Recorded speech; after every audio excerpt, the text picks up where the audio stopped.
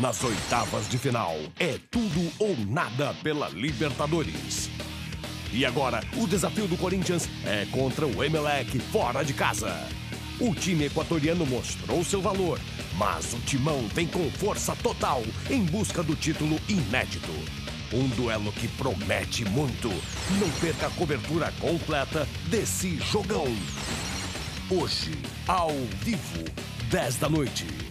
Fox Sports. Torcemos juntos.